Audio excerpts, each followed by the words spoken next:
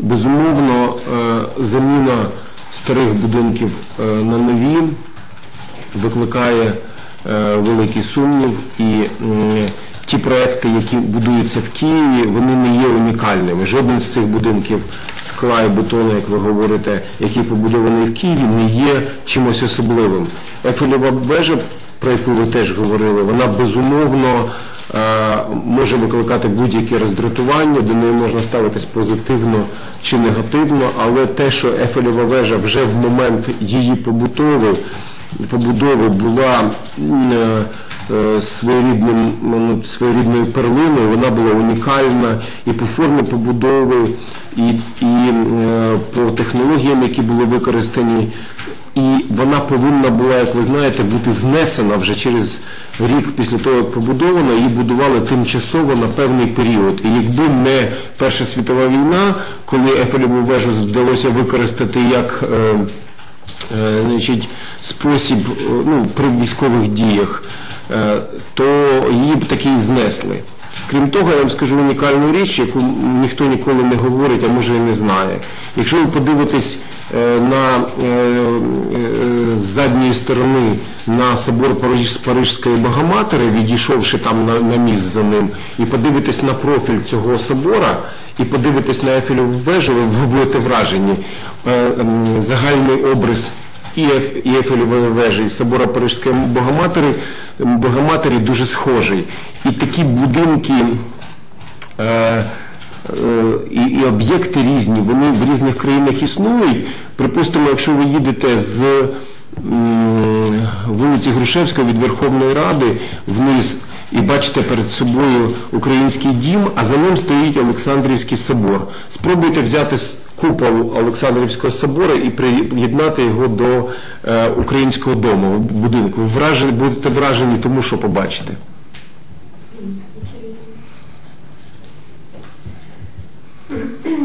Лера Крамаренко спрашивает. Скажите, что вы думаете по поводу судьбы Киевского зоопарка? Там полнейший бардак, животных морят голодом, иностранных туристов там таким не привлечешь и не порадуешь. Может быть, стоит его вообще закрыть?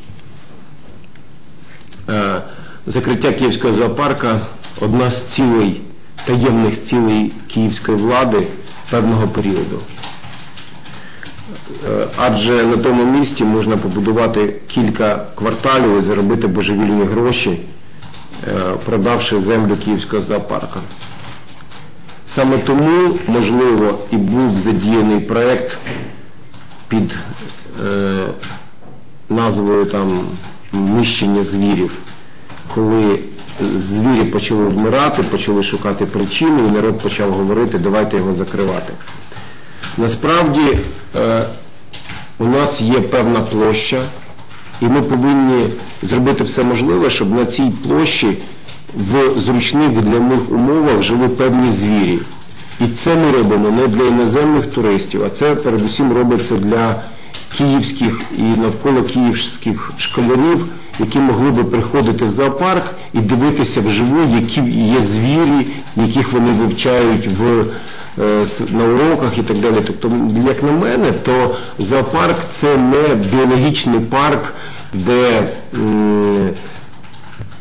повинні бути максимально природні умови. Навпаки, це парк відпочинку киян, який носить певні ознайомчі функції. Тобто людина може відпочивати там і дивитися на тварин і розуміти, які вони е, в принципі існують. Якщо ми хочемо створити зручний для тварин біологічний парк, то, мабуть, нам треба знайти якусь велику зону десь подалі від Києва, Ну, і зробити це таким е, ну, парком, який є в Африці чи десь в інших місцях, якимось заповідником, де в природних умовах живуть е, е, тварини. Отже, головне це знайти компроміс між зручністю киян і зручністю тварин, але ні в якому разі зоопарк не закривати.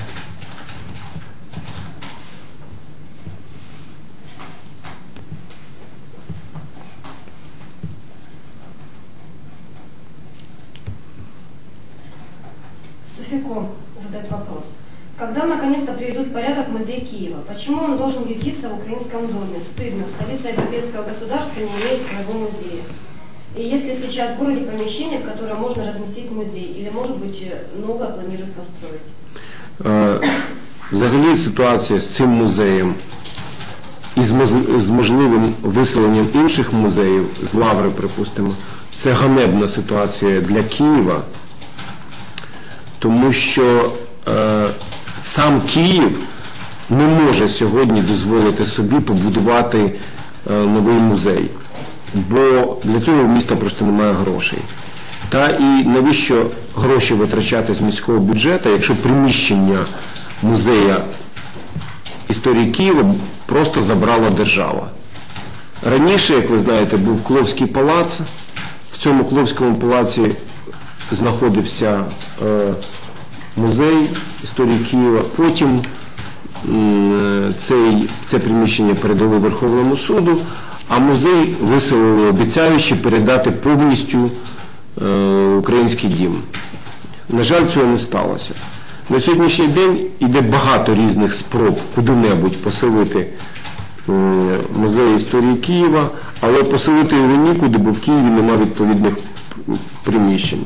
На мою думку, найкращим варіантом сьогодні було би це передати музею кілька е, особняків історичних, ну таких, припустимо, як замок Барона, і в різних місцях розташувати кілька філій музею історії Києва, в кожній з яких буде розповідатись про певний період е, життя Києва. А якийсь модерновий, об'єднаний, короткий експрес-музей, в якому можуть прийти іноземці просто галопом по Європам подивитися е, історію Києва, теоретично він може знаходитися і в українському домі. Але це повинен бути саме такий галопом по Європам експрес-музей, коли іноземці заходять, їм кажуть, оце під час е, трипільської культури так було, оце тут, е, значить, ем, апостол Андрій приходив, отут Кій жив, оце було в такому столітті, оце подивились діаграми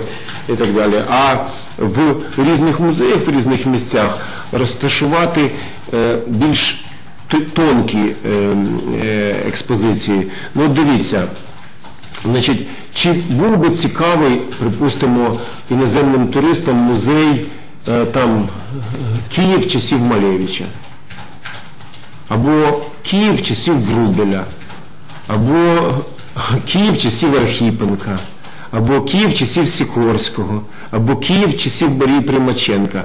Тобто це могли би бути музеї, в яких би розповідалось і про Примаченка, і про Сікорського, і про Врубеля, і про Малевича, але не з точки зору художнього музею, там, коли картини одні висять, а це був би музей, де показували побут того часу, людей, е, вулиці, все, що було пов'язано з Києвом, з цією епохою, в тому числі з самим героєм. І тоді я впевнений, що безліч людей з усього світу вони хотіли довідатися про цих людей, я називаю імена, які мають світову славу, а і е, є своєрідною візитівкою е, Києва в світі. І, звичайно, люди багато би хто захотів подивитися ці музеї, і тоді би і ці музеї було легше утримувати. Але для того треба знов таки те, що я говорив, центр діловий і бізнес-центр міста переселити в інше місце, а особники, які, які сьогодні займають управління, певні структури адміністративні і так далі, передати е, цим музеям. З іншого боку, е, існує норма закону, яка дозволяє по залишковій вартості викупати у приватних власників будинки історичні, якщо ці будинки є пам'ятками, але вони не дотримуються, ну не утримуються в тому вигляді, в якому передбачено законодавством. Таким чином. Е, Просто частину грошей власнику повертають, а будинок його забирають. І цей будинок можна було би передавати музеям. Але дуже важливо, щоб за кожним таким е, проектом був закріплений який-небудь добров...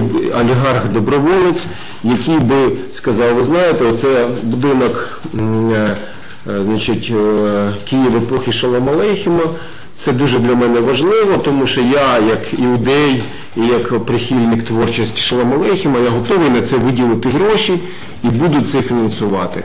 А хтось скаже, ви знаєте, я народився на Поліссі, дуже люблю творчість Марії Примаченка, і я, як щирий українець, вважаю, що я повинен підтримувати Примаченка. Таким чином, якби навколо з кожних таких проєктів був якийсь олігарх чи відома людина, які сьогодні хочуть себе реалізувати. Ми бачимо, як і е, Ахметов, як Пінчук, як Коломойський, вони намагаються створювати якісь соціальні великі проєкти для того, щоб показати себе не просто як бізнесмена, а як людей, які зацікавлені в гуманітарній сфері. Так от такі музеї, які б е, ем, були е, ну, якби, зроблені в Києві, вони б могли б стати таким продовженням традицій Терещенків, або, якщо хочете, Третьякова, тобто кому що більше подобається. На жаль, сьогодні в Києві цього немає.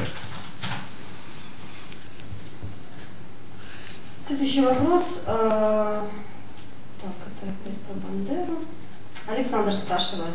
Среди столичных чиновников существует традиция на каждое крещение купаться в проруби. Поддерживаете ли вы эту традицию и примете ли участие в купании? Ну, е, я би сказав так, що е, е, така традиція існує серед е, православних християн.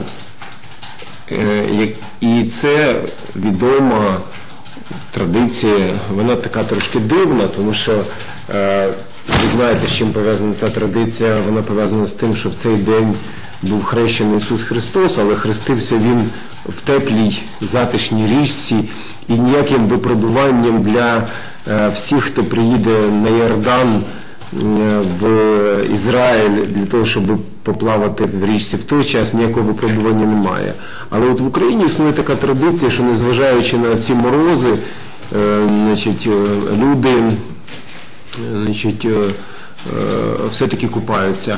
Е, Мені теж доводилося це робити. Припустимо, минулого року я значить, на хрещення був в Мамаєвій Слободі. Це такий осередок український етнічний в центрі Києва. І я прийшов туди поплавати тоді, коли вже всі високоповажні персони, які там були, пішли, і робив це не перед ем, камерами, як прийнято у багатьох, а просто тому, що я вважав, що це треба зробити, і, і, що, і що такі, участь в таких акціях, які носять е, духовний характер, краще робити не в присутності великого, великої кількості глядачів. На жаль, сьогодні існує мода серед е, державних діячів виставляти на показ свої релігійні погляди і участь в е, значить, е, релігійних різних обрядах і святах, вони, вони значить, роблять, ну, беруть участь публічно. Мені здається, що це не дуже правильно. От, тому я якби більш інтимно все це роблю.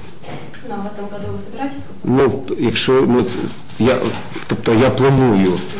Але справа в тому, що в цей день я повинен виїжджати е, в Лейпциг, де відкриваються дні е, української київської культури, бо цього року 50 років виповнюється дружнім стосункам, побратимським стосункам Києва і Лейпцига.